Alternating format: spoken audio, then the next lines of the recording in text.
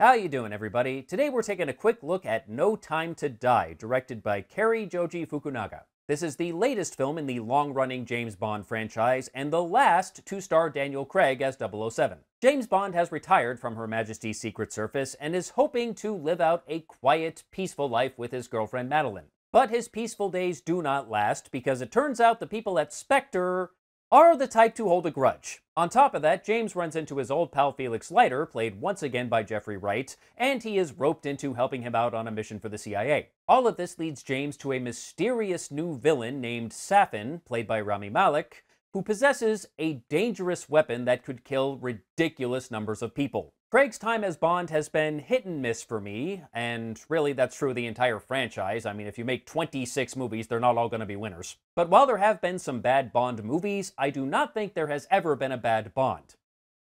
And yes, that includes the guy you're thinking of right now.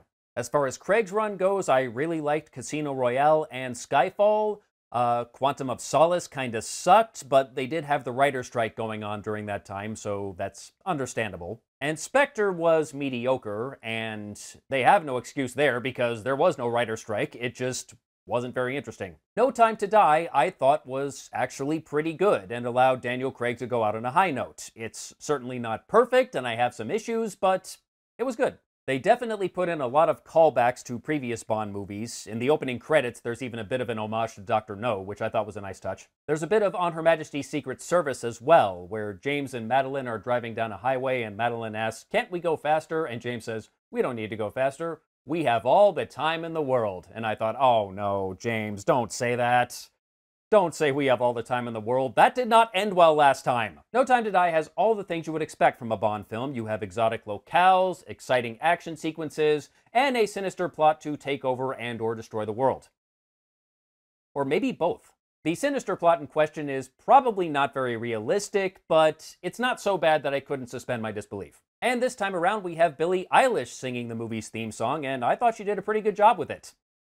Certainly did better than Sam Smith, and I still can't believe that song won an Oscar, and yes, I think I will die mad about it. Unsurprisingly, considering this is the fifth time he's played the character, Craig plays James Bond very well. And in this movie, he's a very conflicted James Bond, because initially he's very reluctant to do much of anything except enjoy his retirement, or at least try to. He has definitely hit the getting too old for this shit phase of his life. But this reluctance is at odds with his sense of duty, and of course, eventually, duty wins. And since James has retired, we have a new 007 named Nomi, played by Lashana Lynch, and I thought she was great. She was strong, she was confident, she was skilled, and I had a lot of fun watching her rivalry with James. Ana de Armas has a small role as a CIA agent named Paloma, and when she first showed up, she had me a little concerned because she was very nervous and a bit klutzy, and I thought, oh, great comic relief sidekick that just gets in the way of everything. I was wrong, because as soon as the fighting starts, it turns out, oh, no, she's fine, she can handle herself.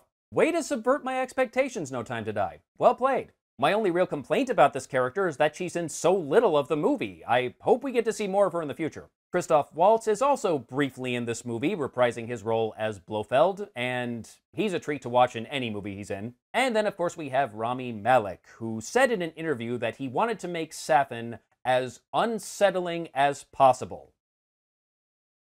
Nailed it! the way he moves and the way he speaks very slowly and softly, just everything this guy does is so disturbing. The first time we see him is in a flashback sequence, and he's actually wearing a mask at the time to hide his facial disfigurement, and that flashback sequence played out kind of like a horror movie. Honestly, I thought he looked creepier with the mask than without it. I do have a few complaints about this character, though. First of all, his first name is like a couple of letters off from Lucifer.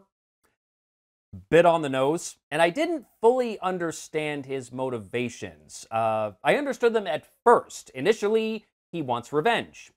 And then he got that revenge, and I guess he just thought, well, guess I'll take over the world now. And I understood what he was trying to do, but not really why he was trying to do it, because it almost felt like he transformed into a completely different villain and it wasn't altogether clear just how he got from point A to point B. As for the ending of this movie, without giving too much away, Even though they did kind of hint at it early on, I was a little surprised that they actually went there. I was surprised they had the balls to go there. But I think it worked. It was a gutsy move, but considering the path that Craig's Bond has been on throughout this series, I think it was the right move. Overall, another good entry in the Bond universe, a great send off for Daniel Craig, and I enjoyed it very much. And I do recommend seeing it if you can do so safely. It does continue from where Spectre left off, but I don't think you necessarily need to see Spectre to understand what's going on in this movie. You're not missing all that much. And Spectre wasn't that great anyway. And that's all I have to say about No Time to Die. Till next time, Take care.